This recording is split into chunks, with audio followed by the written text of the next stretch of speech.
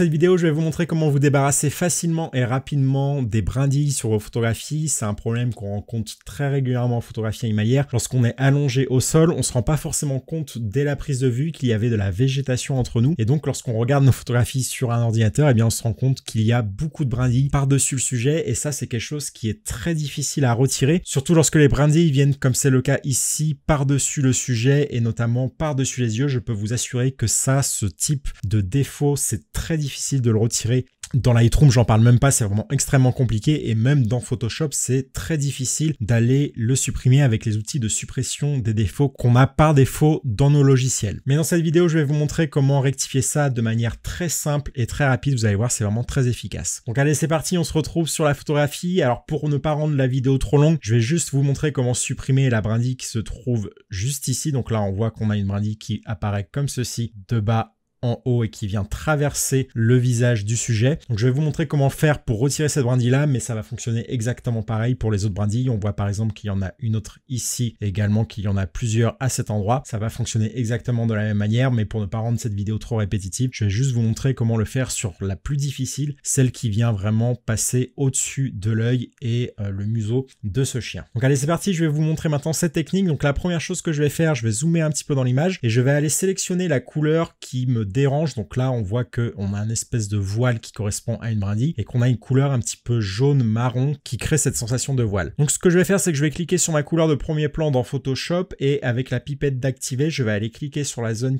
que je veux supprimer. Donc je vais cliquer dessus et là, on voit bien qu'on a un orange un petit peu marron. Donc ce que je vais faire, c'est que je ne vais pas sélectionner exactement la couleur sur laquelle j'ai cliqué. Je vais juste aller chercher une couleur qui va être un petit peu plus sombre et un petit peu plus désaturée. Donc on a la couleur de base, on va descendre vers le bas et aller un petit peu vers la gauche pour sélectionner une couleur plus sombre et plus désaturée. Maintenant que j'ai fait ça, je vais cliquer sur OK pour valider l'opération. Et je vais maintenant cliquer sur l'icône qui se trouve en bas de mon onglet calque et je vais aller sélectionner dans le menu déroulant l'option couleur unie. Donc je vais cliquer dessus, ce qui va automatiquement me sélectionner la couleur que j'ai sélectionnée juste avant. Je vais appuyer sur OK et là vous voyez qu'on a bien une couleur qui remplit totalement la photographie et que notre photo a totalement disparu. Moi c'est pas forcément ce qui m'intéresse, ce que je vais faire c'est que je vais cliquer sur le masque de fusion qui se trouve juste là, donc c'est le rectangle blanc qui a été créé à droite de la couleur unie. Donc je vais cliquer sur ce rectangle blanc, je vais juste vérifier avec les contours blancs que je l'ai bien sélectionné et avec la couleur noire au premier plan et mon outil pot de peinture, je vais cliquer sur ma photographie, sur mon image pour faire disparaître totalement ma couleur et faire réapparaître la photographie qui était en dessous. Une fois que j'ai fait ça, je vais changer le mode de fusion de mon calque. Donc je vais cliquer ici sur l'onglet normal et dans le menu déroulant, je vais aller sélectionner l'option soustraction qui va en fait interagir différemment avec ma photographie. Et c'est justement ce mode de soustraction qui va nous permettre de supprimer le défaut que l'on veut supprimer. Alors là, bien évidemment, on ne voit rien qui apparaît à l'écran parce que mon masque de fusion est totalement noir, ce qui fait que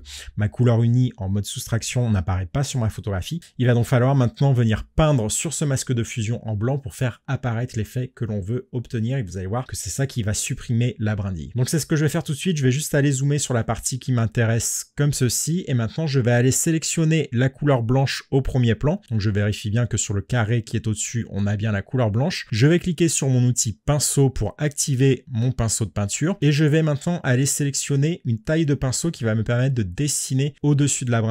Donc je vais faire un clic droit sur ma souris et dans le dans l'onglet épaisseur, je vais aller sélectionner une épaisseur intéressante, peut-être à 300%, à 300 pixels pardon, pardon, ça peut être intéressant. Vous voyez que là, ça va me permettre de venir dessiner par-dessus ma brindille. Au niveau de la dureté, moi je vous conseille d'utiliser une dureté qui est vraiment très petite, ce qui va vous permettre de diluer l'effet et donc d'avoir un pinceau très flou sur les contours, ce qui va nous permettre de noyer un petit peu notre effet et d'avoir un rendu beaucoup plus naturel. Une fois que j'ai validé mes réglages de mon pinceau, je vais maintenant aller tout en haut dans l'onglet opacité. Je vais diminuer en fait l'opacité de mon pinceau, je vais peut-être partir sur une valeur à 20% pour avoir un effet qui va être très dilué et très diffus. Et quand je vais venir dessiner par-dessus ma photographie plusieurs fois, ça va m'additionner l'opacité, donc ça va me permettre de pouvoir doser mon effet. Donc allez, c'est parti, on va commencer à peindre sur notre photographie. Donc je vais juste vérifier que j'ai bien mon masque de fusion de sélectionner et non ma couleur unique qui est ici. Faites vraiment très attention pour garder que vous ayez bien les contours blancs autour du masque de fusion. Et maintenant, je vais venir dessiner très lentement sur ma photographie. Donc je vais essayer de passer plusieurs fois et de cliquer plusieurs fois avec ma souris pour aller camoufler l'effet comme ceci. Donc là, je vais essayer de vraiment créer un pinceau tout autour de la brindille que je veux supprimer, comme ceci. Et vous voyez que déjà, ça permet très facilement d'aller supprimer une grande partie de la brindille si je vous fais un avant et un après, vous voyez que ça permet vraiment de faire des choses très rapides et très efficaces. Là, on a peut-être juste un problème, c'est que les contours se voient un petit peu trop. Donc, ce que je vais faire, c'est que je vais utiliser une opacité encore plus petite, par exemple à 6%. Je vais également augmenter la taille de mon pinceau comme ceci. Je vais peut-être partir à une valeur de 500% et je vais venir créer des contours beaucoup plus flous et beaucoup plus dilués sur le côté de la brindille, ce qui va me permettre vraiment d'aller diluer totalement mon effet. Si je vous montre d'ailleurs l'aspect du masque de fusion en maintenant la touche Alt du clavier enfoncé et que je clique sur mon masque de fusion, vous voyez que je vais vraiment créer beaucoup de flou tout autour et je vais vraiment avoir un effet qui va être particulièrement dilué. Donc je vais recliquer sur la touche Alt du clavier et sur mon masque de fusion pour faire réapparaître la photographie et on va voir le résultat avant-après.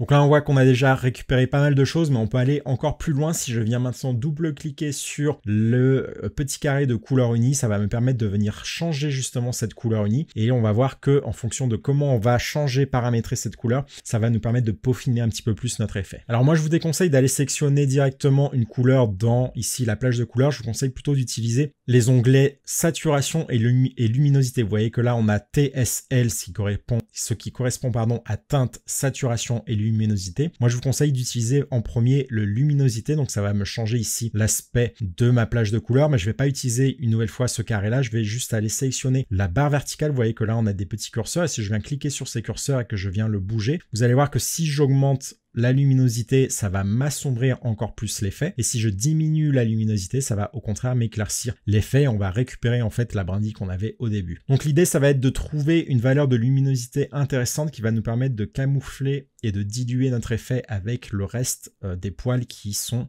à côté de la brindille. Donc là, par exemple, je vais essayer d'assombrir un tout petit peu mon effet. Je vais partir sur une luminosité à 45 et on va voir maintenant l'onglet saturation. L'onglet saturation, ça va vous permettre en fait de jouer sur la colorimétrie. Vous allez voir que si j'augmente la saturation, on va avoir une teinte bleutée qui va apparaître. Si je le pousse vraiment beaucoup, on va avoir beaucoup de bleu sur l'image. Et si je viens le diminuer la saturation, on va au contraire avoir une teinte beaucoup plus orangée. Donc là, l'idée, c'est peut-être de trouver une teinte, une saturation, pardon, un petit peu plus haute, ce qui va nous permettre de bleuter un tout petit peu notre effet et nous séparer totalement, nous débarrasser, pardon, totalement de la couleur un petit peu orangée qui nous restait. Si je reviens ici par défaut, on voit qu'on avait une couleur un petit peu orangée qui correspondait justement à la couleur de la brindille qu'on voulait supprimer. Et si je viens augmenter un tout petit peu la saturation et donc injecter un petit peu plus de bleu, on voit qu'on va supprimer la couleur orangé et, que donc on va casser cet effet de voile qui était dû à la brindille. Donc je vais appuyer sur OK pour valider le résultat et on va faire un avant et un après. Vous voyez que très facilement et très rapidement, on a réussi à supprimer cette brindille là. Donc voilà comment fonctionne cette technique. Donc l'idée c'est vraiment de prendre le temps de la tester chez vous et surtout de peaufiner le masque de fusion, notamment ici. Si je vous active le masque de fusion, c'est là qu'on va voir en fait les contours et si je reviens sur la photographie,